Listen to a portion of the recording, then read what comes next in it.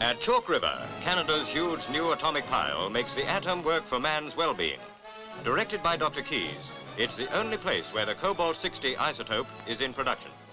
Radioisotopes, which must be handled in thick lead containers, are telltales which are fed into a body and tracked by radiography in today's attack on internal diseases. They're also used similarly in industry. What goes on inside this box we're not allowed to show you. It's that secret. For instance, incidental discoveries made at this plant have turned out to be vital for speeding American work on the H-bomb, although Canada plans only to make the atom bring good to man.